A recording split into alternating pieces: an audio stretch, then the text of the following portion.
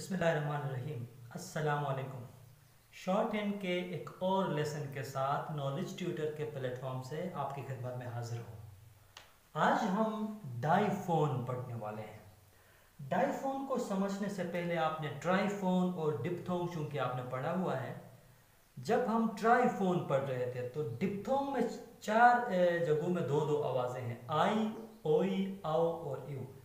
अब इन चार से जब कभी भी वर्ड कंप्लीट नहीं होता है तो हम एक और आवाज़ ऐड करते हैं। तो वहाँ एक निशान, यानी ये डाइफोन है डिथोंग है तो इसके साथ एक यूँ आवाज़ ऐड करके हम ट्राईफोन बना के हम एक आवाज़ इसके साथ ऐड करते थे, इस डेश के साथ। आज हम चूँकि डाइफोन पढ़ रहे हैं तो इसको इस समझने से पहले डिप्थोंग का समझना बहुत ज़रूरी है। डिप्थोंग में हमारे पास दो आवाज़ें होती हैं कंप्लीट आवाज़ें। आई में ओई में, आओ में और यू में। अगरचे हमारे पास 12 आवाज़ें वावल्स की है। अब छह डॉट में वावल्स है और छह डैश में वावल्स है। बाज औकात किसी वावल से एक वर्ड कंप्लीट नहीं होता है। उसमें एक और आवाज़ ऐड होती है। अगर एक और डिफाइंड आवाज़ या कंप्लीट आवाज़ ऐड होती है तो वो तो फिर हमारा डिथोंग बनता है। बाजों का दो वावल्स मिलकर लेकिन नहीं। अब एक वॉवल के बाद हल्की सी एक और आवाज़ ऐड होती है तो जिसको हम डाइफोन कहते हैं। छह डॉट्स में है, छह डैशेस में है। अगर डॉट वॉवल के बाद एक वर्ड कंप्लीट नहीं होता, उसमें गुंजाइश रहती है, यानी हल्की सी आवाज़ की लचक उसमें मौजूद रहती है तो हम एक आवाज़ ऐड करते हैं। उसको डाइफोन कहते हैं। इसी तरह डॉट वॉवल में भी अगर डॉट डैश दोनों में वॉवल से एक वर्ड रिलैक्स होकर हम नहीं प्रोनाउंस कर सकते, एक और आवाज़ माँगता है वर्ड तो उसको हम डाइफोन के नाम से एक अलग इलामत के साथ आवाज़ दे के रिलैक्स होकर पढ़ते हैं। यहाँ मैंने दो इलामत लिखे हुए एक लेफ़्ट साइड से है और एक राइट साइड से है। अगर ये डॉट वॉवल के बाद एक और आवाज़ आती है तो हम ये लेफ़्ट साइड वाली इलामत यूज़ करेंगे। अगर डैश वॉवल के बाद एक और आवाज़ ऐड होती है तो हम राइट साइड से ये इलामत यूज़ करेंगे। अब हम आते हैं अपने एग्जाम्पल्स की तरफ़। अब देखिए डॉट वॉवल में। मसलन हमारे पास एक लफ्स है पे एबल। अब देखिए पहले इसको वावल के साथ लिखते हैं। ये है पे और ये है बल। तो ये हमारा पे बल है जबकि हमारा वर्ड जो है वो पे एबल है। पे ए, एक हल्की सी आवाज़ ऐड होती है। पे से वर्ड कंप्लीट नहीं होता है। पे के बाद ए यानी डॉट वावल के बाद एक और आवाज़ ऐड होती है। तो डॉट के जगह में हम लेफ़्ट साइड वाली अलामत यूज़ करते हैं। तो यहाँ ये वाला डाइफोन यूज़ करेंगे। अब हम रिलैक्स होकर प्रोनाउंस कर सकते पे एबल। इसी तरह देखिए केरिंग ये है केरिंग अगर हम यहाँ डॉट लगाते हैं थर्ड प्लेस का तो केरिंग है। जबकि वर्ड प्रोनाउंस होता है केरिंग केरिंग री के बाद ये, एक छोटी सी आवाज़ है। लिहाजा हम यहाँ डाइफोन इस्तेमाल करेंगे। और वो कौन सा डाइफोन?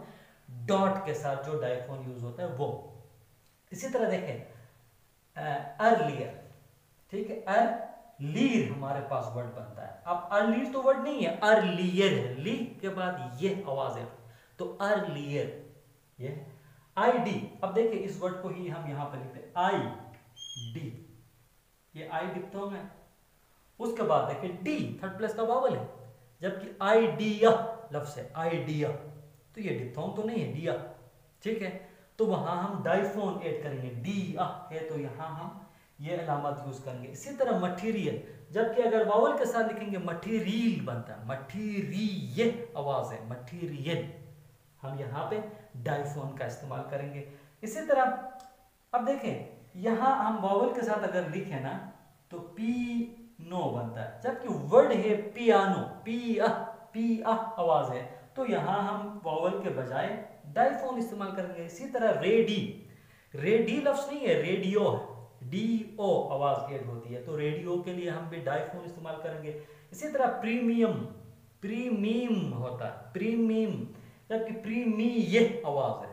डॉट वावल के बाद डाइफोन है, इसीलिए हम लेफ़्ट साइड से ये अलामत इस्तेमाल करेंगे। इसी तरह रील रील नहीं है बल्कि रियल है। रील पढ़ेंगे तो गलत होगा रियल हमने डाइफोन एड किया। इसी तरह एक्सपीरियंस री एक्सपीरियंस नहीं है, एक्सपीरियंस।